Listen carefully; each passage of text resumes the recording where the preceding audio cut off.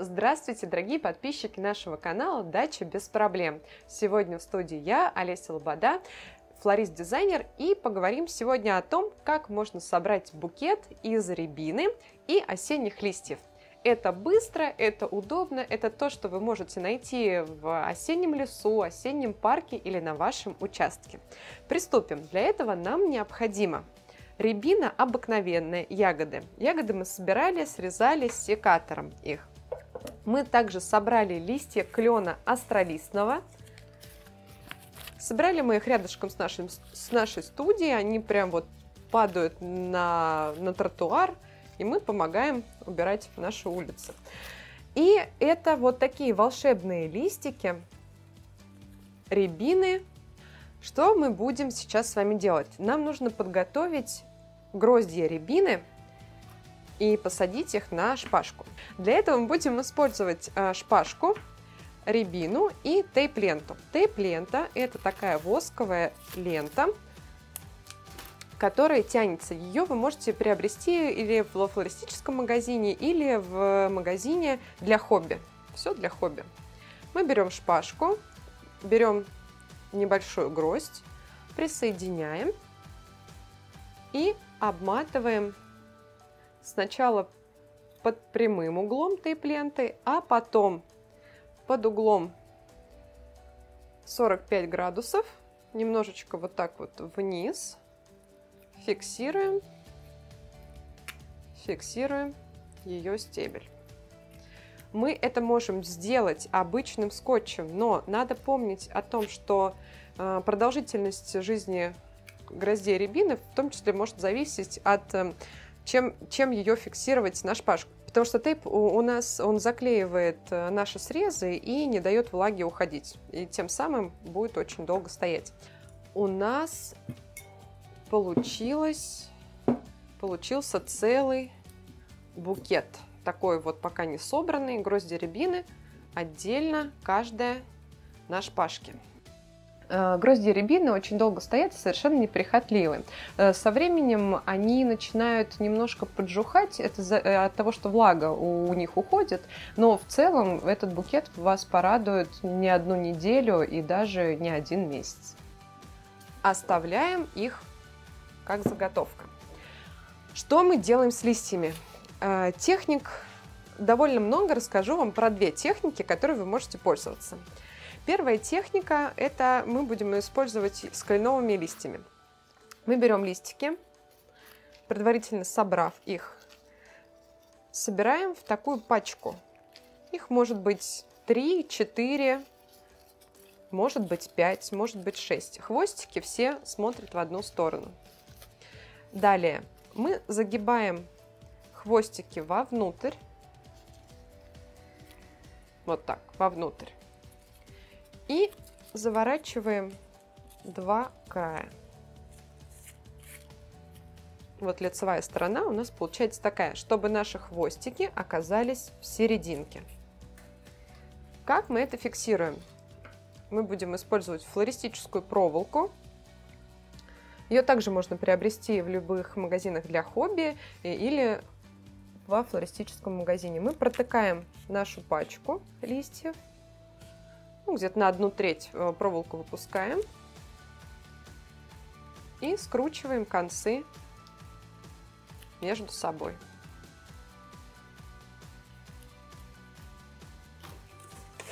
И делаем так еще несколько раз.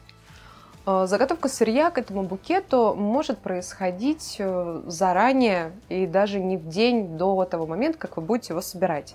Можно заготовку листьев производить, например, за день. Э, вы идете в парк, в лес, куда угодно, и можете собирать листья, но дальше нужно очень правильно их хранить. Необходимо их запаковать или в какой-нибудь пакет э, и добавить немножечко туда воды или, знаете, из пульверизатора попшикать, чтобы была влажность, и положить в прохладное место.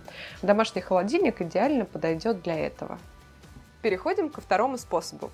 Мы используем листики рябины промежуточной. Они отличаются от листов рябины обыкновенной формой, своей и кожистостью. Эту технику мы назвали креветка. Ну, это такое наше студийное название, сейчас поймете почему. Для этого нам будет необходима проволока. Проволоку предварительно мы тейпируем. О технике тейпирования мы рассказывали ранее. Проволоку. Для чего э, тейпируем мы проволоку? Чтобы листики не скользили. То есть тейп имеет восковую основу, и листики э, будут задерживаться. Вот такая вещь у нас есть. Дальше нам понадобится степлер. Что мы делаем? Мы берем листик, сгибаем его у жилки и крепим степлером близко к проволоке. Вот так. Почему проволока? Сейчас э, дальше я об этом расскажу. Это может быть и шпажка, тогда просто не будет, эм, будет статичная конструкция, а мы будем делать динамичную конструкцию. Дальше берем второй листик, также сгибаем его посередине и делаем такой нахлест, чтобы нашей скобы не было видно. И также крепим степлером. Можно в двух местах для прочности, если вам так будет спокойней. И продолжаем. Мы тут можем делать э, разные переходы по цвету. От более красного к более темному. Смотрите, у нас получается вот такая ровная линия. Что мы можем придумать еще? Мы можем точно так же, но делать наоборот. То есть листики мы используем не гладкой стороной, а вот этой очень симпатичной, красивой стороной. Тоже техника та же самая, только листики идут наоборот. То есть мы крепим друг за дружкой, но в обратную сторону. Вот у нас получилась такая ровная, интересная линия. Здесь хочу обратить ваше внимание, почему мы использовали проволоку и э, тейп-ленту в самом начале. Благодаря проволоке мы можем придать любую форму нашим листикам.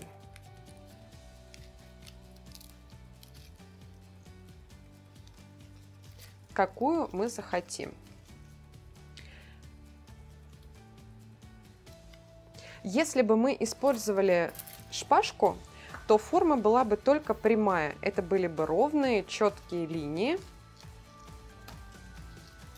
которые не позволяли бы нам гнуться. Было бы вот, вот так примерно. Но это тоже может быть, смотря как разыграется ваша фантазия. Вот мы подготовили все необходимые элементы для сборки букета. Мы начинаем с рябины. Рябина довольно тяжелая.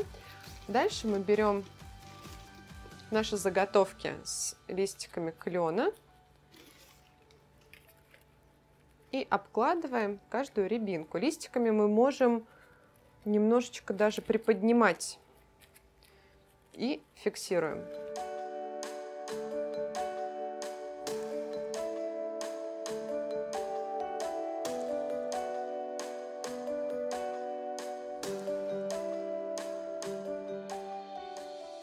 Далее мы фиксируем, берем бечевку, отрезаем и плотно-плотно наматываем. Эта связка получилась чуть-чуть ниже, чем наша первая связка. Так и должно быть, потому что мы собирали форму полусферы. Фиксируем на узел. Отрезаем. И чтобы ножки нам не мешали и не уходили в такую, вот в такую штуку, мы можем еще раз пониже связать наш букет.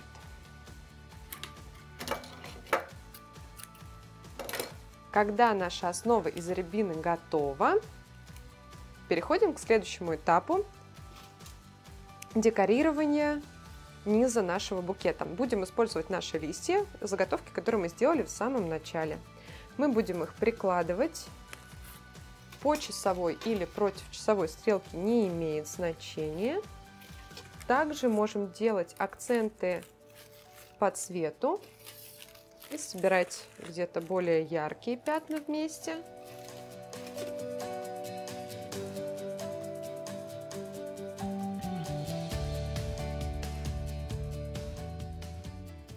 И у нас на этом этапе получилось вот такой букетик, можно сказать, в каркасе с осенними листьями. Но у нас же остались еще одни листья, рябины, которые мы собирали с вами в другой технике. И сейчас мы будем с вами фиксировать. Мы можем использовать их как этой стороной в букете. Вы помните, что у нас проволока, и мы можем придать любую форму. Так и другой стороной. Универсально, универсально.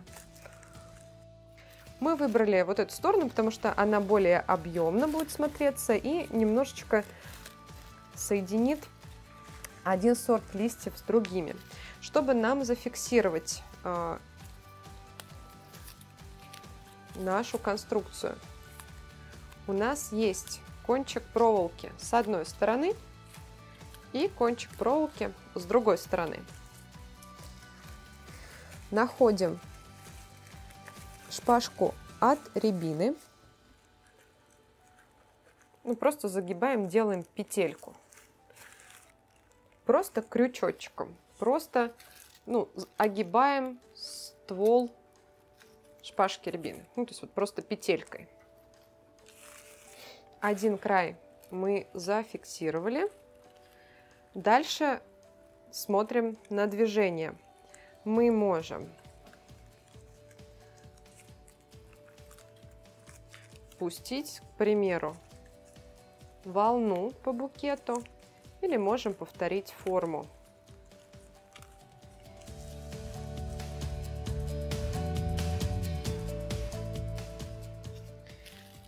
И также фиксируем вторую часть.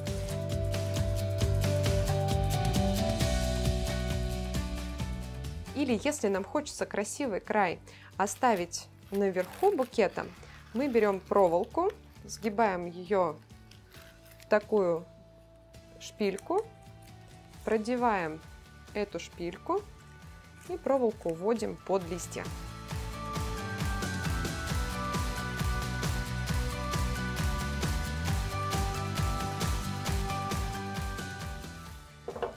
Завязываем.